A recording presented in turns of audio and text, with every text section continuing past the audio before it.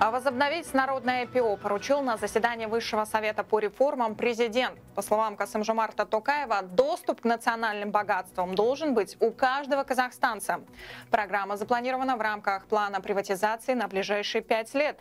Какие еще документы обсуждали на заседании, расскажет моя коллега Мирверт Жикиянова. Мирверт, добрый вечер, ты в эфире.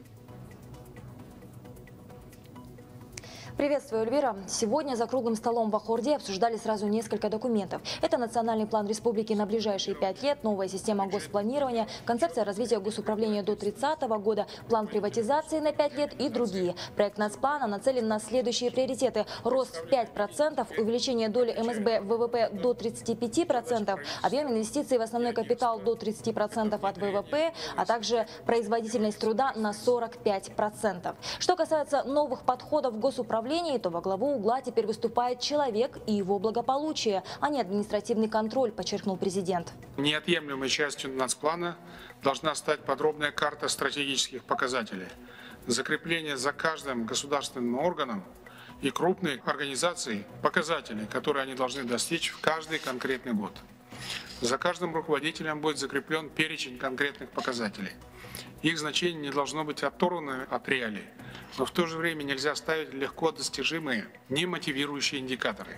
Комментируя проект плана приватизации на ближайшие пять лет, президент подчеркнул, что важно четко следовать документу, никаких отсрочек быть не должно. Список объектов расширен до 736. В конкурентную среду должны передать активы на 5 триллионов тенге. Это позволит сократить присутствие государства в экономике до 14%. При этом важно, чтобы механизм в данном вопросе был отлажен, в том числе и инструменты IPO для казахстанцев.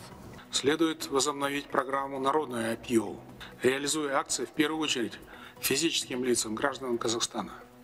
Необходимо, чтобы каждый гражданин нашей страны все же имел возможность получить часть национального богатства.